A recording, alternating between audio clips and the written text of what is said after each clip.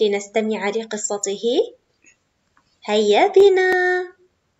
هل تعرفون ما اسم هذا الطفل؟ اسمه كريم. كريم ولد مهذب ولطيف وأيضا هو مجتهد في الدراسة. رجع من المدرسة وفتح كتابه وكتب واجبه. بعد قليل وهو يكتب واجباته شعر بالعطش فأحضر كوب العصير وشرب منه.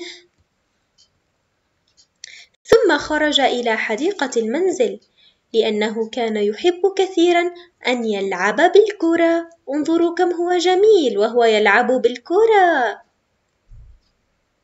ثم ذهب إلى السوق واشترى دمية. تعرفون على شكل ماذا؟ كانت هذه الدمية على شكل كلب وهو يمشي في الطريق رأى مجموعة من الرجال الذين يبيعون الخضار فماذا فعل؟ وقف ورأى ماذا لديهم فاشترى كرز وكيوي ماذا اشترى؟